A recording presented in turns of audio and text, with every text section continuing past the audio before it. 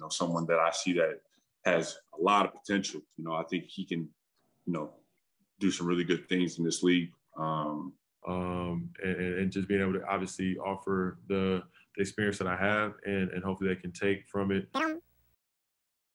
What's going on guys? ダンクマンヨシです。というわけで今回の動画では、八村選手のウィザーズに新しくたくさんの選手が入ってきましたが、今回は彼らがこの八村選手、そしてこのウィザーズについて話していたので、この辺を中心に見ていく感じです。そしてそれはそうと今世界中が大混乱に陥ってると言っても過言ではないですよね。そしてこれについて一体全体どうなってるのか知りたいそこのあなた、マトリックスっていう映画を見てみてください。自分もたまたまつい先日久しぶりに見てたんですけど、かなりのヒントが隠されてると思います。それでは本題です。ですこの度ワシントンウィザーズはレイカーズと同じくかなりの補強を進めましたが、今回新加入してきた選手の詳細としては、レイカーズから KCP、ハレル、クズマが移籍、そしてペーサーズからアーロン・ホリデー、そしてネッツからスペンサー・ディンウィディもやってきました。個人的には今のところかなりいい感じのロスターに見えていると思いますが、今回このロスターについて新加入したクズマとスペンサー・ディンウィディはこのように話していました。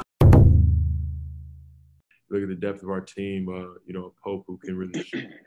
as a quick first step. You got Kuz, obviously, when attacking closeouts, he's going to be a monster.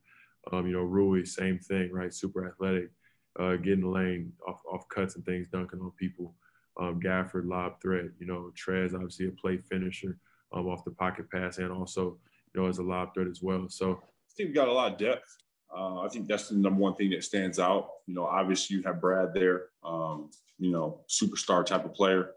Uh, Spencer is a you know a really really really good uh, point guard. You know that's something that you know I've watched a little bit more ever since you know the trade went down and whatnot. Um, you know just dissecting his game. Um, you know obviously you have Rui there, him being a you know a modern day type of four man in this NBA. You know someone that I see that has a lot of potential. You know I think he can you know do some really good things in this league. Um, and so on and so forth. You know, it's it's a it's it's a roster that's young, but also um, you know we have a good mixture. You know, I think uh, my second year in the NBA with the Lakers, um, you know, we had we had a team that you know before injuries, you know, it was very cohesive from a standpoint of having um, really good vets, but also young talent. And um, you know, this is like you know kind of like that team we kind of had in that type of sense. So um, Yeah, man, I'm excited. I'm excited. と、このように話していましたが、二人ともかなり八村塁のことは買っているようで、クズマから言わしたら結構ベテランと若手が揃ってるいい感じのロスターってことなんですけど、全体的に見るとかなり若い方のチームかと思います。それではこのチームをちょっとポジション別に見ていきたいと思いますが、まずやはりバックコートコンビ、ガードコンビは、今回入ってきたスペンサー・ディンウィディとブラッドリー・ビール、この辺が中心になってきて、そこのバックアップとして KCP とハウル・ネト、そして3ガードスタイルで行くときには KCP がそこに加わると、そしてこのスペンサー・ディンウィディのディフェンス力について、自分はいまいちピンとこないんですが、この KCP に関してはね、少なくともレイカーズ時代はディフェンスバッチリやってて、かなりレベルは高い方やと思うんで、ディフェンス重視していきたい時も同じく KCP を使えると。あとアーロン・ホリデーもおるんやね。とまあこうしてみるとガードがかなりいるんですけど、とりあえずメインのガードはこの5人。そしてフォワード陣に関しては八村塁、カイル・クズマ、デニー・アブディア、デイビス・バルタンズ。とりあえずはこの4人で、先発はおそらくクズマと八村。おそらくクズマがスモールフォワードで、八村がパワーフォワード。そしてビッグマンのポジションはダニエル・ギャフォード。この度復活するトーマス・ブライアント。そして今回新加入したモンテレス・ハレルと。昨シーズンと同じく多分ここに関してもこの3人のビッグマンでローテーションを組んでいくのかと、こうしてみると各ポジションにめちゃめちゃ充実してますよね。そしてカイル・クズマは同チームのディフェンスについてこのように話していました。For me, um, I think the challenge is definitely going to be on that defensive end. Um, you know, I think uh, we were ranked 30th. Um, you know, opponent points per game, and um, you know, something has to, has to change. You know, I think uh, anytime you have a, a, formidable defense, you get defensive rebound, then you know you got a chance in every game. And then if you add that to the fact that you know you have guys like Brad, Rui, uh, uh, Bertans that can shoot the peel off the ball, um, you know, and then adding KCP, me, Trez, Aaron Holiday, you know, um, they have a great chance. You know, competitive group, um, and hopefully, you know, from day one we just take it, you know, one day at a time. But you know, defense is going to be uh, vital vital for our season, vital for um, the chance to get to the playoffs and make some noise as well. So と、このように話していましたが、本当に彼が言ってるように、昨シーズンウィザーズはかなりディフェンスが悪かったから、このディフェンス重視でやっていたレイカーズの KCP、クズマ、ハレルが来たことは、とてもいい影響になると思うし、そして今回の新しいウェスヘッドコーチ、彼もディフェンス重視ってことだから、ディフェンスにおいては間違いなくレベルアップするかと。ですがさっきも各ポジションを見てみて分かったんですけど、そのいい感じの選手が被ってる印象もありますよね。例えば KCP なんかレイカーズでは先発が多かったんですが、このチームには絶対的なスコアラーブラッドリビール、そして期待待されているスペンサー・ディミディがいて、そしてフォワードに関してもね、おそらく八村とクズマやと思うんですけど、場合によってはここも被ってくることがあると思うし、まあいい選手が多いことはいいんですけど、クズマはこの同じポジションに複数の選手がいることについて、このように話していました。Uh, well, I think you got to realize, like, you know, obviously, um, you know, I'm not, I'm not going to say it's a log jam, but um, I'm going to say, you know, if you, if you look at the, the land landscape of the NBA,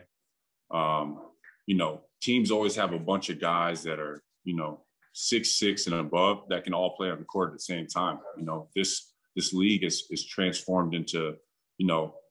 kind of positionless. And um, you know, if you have guys that know how to play basketball and defend at the high level at high level, um, then now you're in business. So, you know, I, I think it's a good problem to have. Um, obviously for Wes and uh, the organization. Um, you know, I like to call successful people problems, you know, because you have a lot of great talented players on, on one roster and, um, you know, it's always about sacrifice and, you know, trying to win. So. と、このように話していましたが、本当にその通りで、足りないよりかは、いるに越したことはないと。そして結構、八村選手、スタメンで大丈夫ですかね？って見るんですけど、よっぽど調子が悪くない限り、大丈夫だと思います。でももしかすると、ガード陣が調子良すぎたら、スリーガードにして、クズマをパワーフォワードにする可能性もあるかもしれないし、もしくはデニーがめちゃめちゃ調子上げてきて、デニーとクズマがフォワードになる可能性もあるし、だけど自分は八村が勝ち取ると信じています。そしてスペンサー・ディミディは八村塁について、このように話していました。He uh, was training Rui, and so I'm kind of familiar with Rui and his game and being kind of, you know, forward and a bigger uh, slasher and able to kind of get in the paint, be the beneficiary of cutting and things like that. Um, you know, so I, am I'm, I'm looking forward to that. Um, and, and, just being able to obviously offer the, the experience that I have and, and hopefully they can take from it uh, what, what helps them and, and discard what doesn't help. と、このように話していましたが、ウエストブルックの時と同じく、八村にとっては先輩になってくるので、しかも彼のことを以前から知ってるっていうことから、かなりいい感じのメンターになってくれる予感はします。そしてカエル・クズマは彼の役割についてこのように話していました。The season or this off season, I've really done a great job of hammering uh, my ball handling, my handling. Um, I think last year with the Lakers, I did a great job of, you know, showing and um, you know, being a, a willing, willing passer, someone that could get guys open, get guys open looks. And, you know, for me, you know, adding a handle and a, more consistent, stronger one is really going to allow me to, uh, you know, be an on ball type of guy, uh, not only just to score and be that type of threat, but be the threat to, you know, get guys open, get uh, Rui open shots, get Brad easier looks, um, help Spencer get downhill, um, you know, get get uh, Big Gafford